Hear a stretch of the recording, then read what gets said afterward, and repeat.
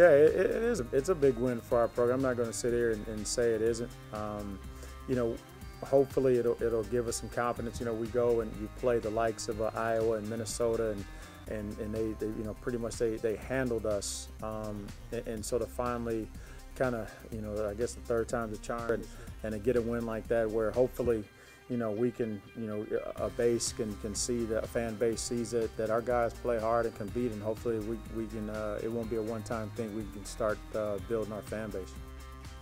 Just the confidence in my teammates and my coach. Uh, basically, the first half wasn't really great for me, and he just told me to keep playing, uh, go out there and have fun and play my game. My teammates told me the same thing also. So the second half came, and uh, just the moments that I had were just big moments, and I just uh, contributed to my coach and my teammates for believing in me. Uh, yeah, he like he said, it was a little panic. Uh, Mississippi State's a great team. They came out, they pressed us, and uh, turned us over a few times, and I think that was really big. Uh, the biggest thing for us was just coach telling us to stay calm during that run. Uh, it's a game of runs, and they, you know they're made theirs, and then we had to come back and make ours. And I think our guys did a good job of responding to that.